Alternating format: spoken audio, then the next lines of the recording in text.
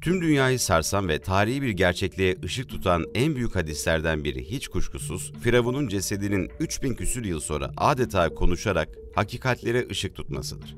Firavun'un cansız bedeni öyle şeyler söylüyordu ki, Kur'an'ın hakikat olduğuna şahitlik ediyordu. Peki nasıl oldu bu? Firavun'un cesedi neler söylüyordu?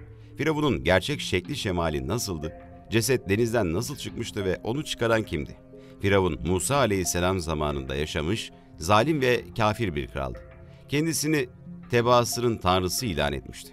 Çevresindeki insanların büyük bir kısmı onun zulmünden ve kendilerine ceza vermesinden korktuklarından onun tanrılığını keren kabul etmişlerdi.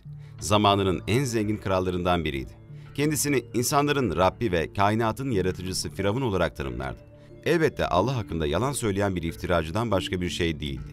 İnsanlara ben sizin en büyük Rabbinizim diyerek yalan söylüyordu. Allah ise kendisi hakkında alenen yalan söyleyen ve acziyetini unutup ilahlık taslayan bu Firavun'a intikamların en kötüsüyle karşılık vermişti. Onun ölümünü tarihin gördüğü en kötü ölümlerden biri yaptı ve onu tüm alemlere ibret olarak sakladı. Allah Kur'an-ı Kerim'de şöyle buyurdu. Ey Firavun! Biz de bugün bedenini arkandan geleceklere ibret olman için kurtaracağız. Çünkü insanlardan birçoğu ayetlerimizden gerçekten habersizdir. İşte bugün Firavun'un berbat sonunun üstünden 3000 seneden fazla geçmişken, bilim insanları Firavun'un cesedini konuşturmayı başarmış ve Firavun'un ölmeden önce söylediği son sözlerin ne olduğunu ve canı çıkmadan önce ses tellerinden en son hangi seslerin çıkmış olduğunu ortaya koymanın bir yolunu bulmuşlar. Bilim insanları Firavun'un mumyasını çıkarıp incelemeye başlamış ve bir çeşit otopsiye tabi tutmuşlardı. Öncelikle mumyayı olabilecek en sağlıklı haline getirmişler. Böylece ses tellerini inceleyerek ölmeden önce son sarf ettiği sözlerin neler olduğunu öğrenmeye çalışmışlardır. İslam alimlerinin bildirdiği üzere Firavun'un ölmeden önce çokça ahlanıp mahlandığını, bağırıp kurtulmak için yardım istediğini ve pişmanlığını dile getirdiğini, alemlerin Rabbi olan Allah'tan rahmet ve merhamet dilendiğini biliyoruz. Allah'tan kendisine ölümün kesin olarak geldiğini fark ettiği anda iman etmiş ve bağışlanma dilemiştir. Ayet-i kerimede nihayet boğulmak üzereyken İsrailoğullarının iman ettiğinden başka hiçbir ilah olmadığına inandım. Ben de Müslümanlardanım dedi. Buyurulmuştur. Fakat Allah tövbesini kabul etmemiştir. Zira ölüm boğaza geldiğinde artık tövbe kapısı kapanmış bulunur. Tövbe kapısının kimler için kapandığının delili ise Nisa suresindeki şu ayettir.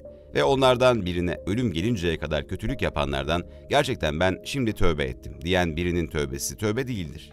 Ve kafir olarak ölenlerin tövbesi de tövbe değildir. İşte onlar onlar için acı bir azap hazırladık. Ancak alimler tarafından Firavun'un ölmeden önce söylediği son sözlerin tespit edildiğine dair yapılan incelemelerin bir kesinliği olmadığı, ölüler konuşamayacağı için bu konuda elde edilebilecek verilerin sadece teknolojik olarak dijital ortamda elde edilebilecek veriler olduğu ve gerçek olabileceği gibi uydurma veya hatalı da olabileceği vurgulanmıştır. Mumya üzerinde yapılan restorasyon çalışmaları tamamlandığında anlaşıldığı üzere bu firavun ikinci Ramses'ti. Ramses, Allah'a meydan okumuş ve Peygamberi Musa aleyhisselamı da öldürmeye çalışmış bir kafirdi. Restorasyon çalışmaları sonucunda ortaya çıkan tablo, dijital ortama aktarılmış ve ortaya bir fotoğraf çıkarılmıştır. Süpan olan Allah'tan başka hiçbir şey devamlı ve ölümsüz değildir. Süpan olan Allah'tan başka hiçbir şeyin mülkü daimi değildir. En garip konuysa Firavun 2. Ramses denizde boğularak ölmüş olmasına rağmen nasıl bugünlere kadar gelebilmiştir, onu denizden kim çıkarmıştır? Yaygın bir görüşe göre denizin suları cesedi Mısır kıyılarına atmış, Mısır'da devam eden Firavunlar hanedanının askerlerinin cesedi bulup hanedan geleneklerine uygun bir şekilde mumyalayarak hazineleriyle birlikte defnettikleri düşünülmektedir. Delinene göre mezar yeri bir kaşif keşfedene kadar gizli durumdaydı ve tesadüfen ortaya çıkmıştı.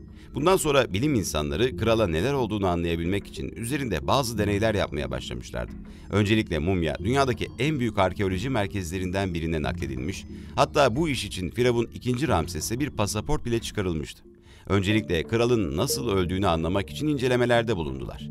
Bilim kurulunun başında Maurice Buseyle isimli bir arkeolog bulunmaktaydı. Mumyayı incelemeye aldıklarında gerçekten çok garip bir durumla karşılaştılar.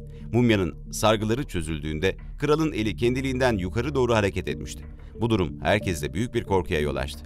Muhtemelen kral ölürken elini dalgalara karşı koymak için havaya kaldırmış ve bu şekilde kasılmış halde kalmıştı ve sonrasında mumyalanırken elini düzgün bir şekilde mumyalayabilmek için zorla düzeltmişlerdi. Sargılar açılınca da el kasıldığı şekle geri dönmüştü.